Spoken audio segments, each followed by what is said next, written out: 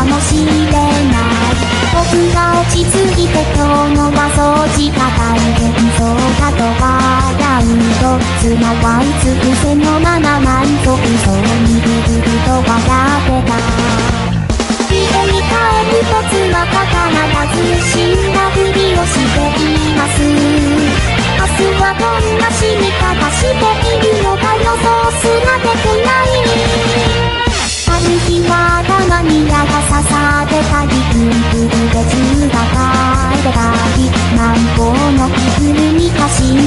はどちめようかと思っ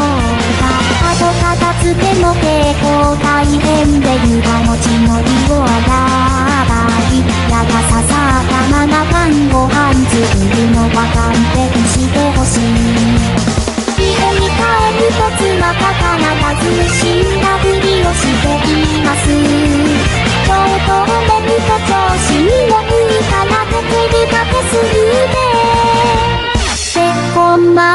忙しくても彼女に会うだけで楽しかった徹夜で車でもなく飛ばして海見に行ったりしたのに。結婚直後初めて部下を持ち仕事がとても楽しくなった。家で一人で待つ妻の気持ちを考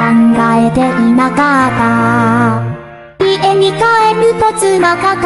必ず死んだふりをしてるのはあの頃の二人に戻りたいからか僕にはわからない